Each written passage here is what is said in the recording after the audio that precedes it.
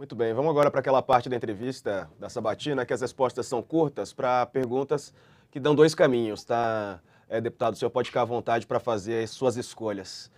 Começo te perguntando sobre o aborto. Senhor é contra ou a favor a, da legalização do aborto?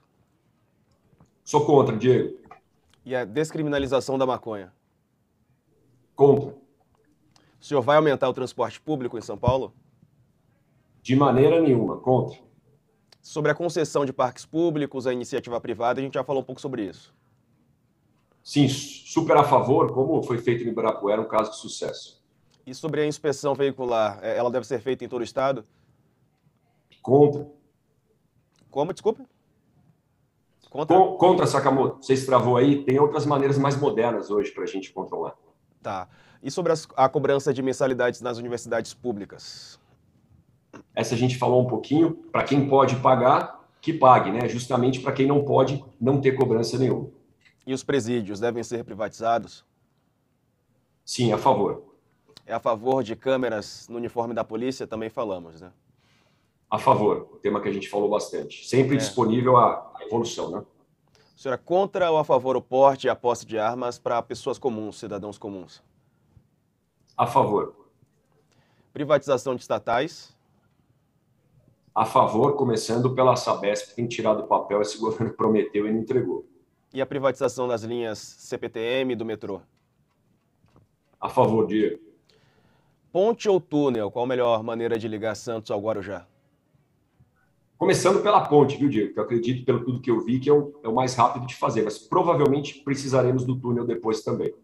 E as operações policiais na Cracolândia, elas vão continuar? O senhor é a favor ou contra? Continuar numa operação integrada. A gente acabou não falando muito sobre isso, mas junto com saúde, assistência social e judiciário. Cracolândia é um problema de saúde, mas precisa da polícia para a gente combater o tráfico. E qual que é um, uma qualidade, conta uma qualidade e um defeito do senhor?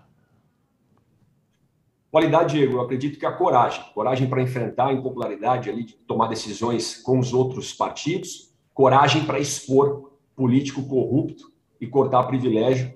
E um defeito, sou bastante ansioso, viu, Diego? Ansiedade, é o mal do século. Deputado.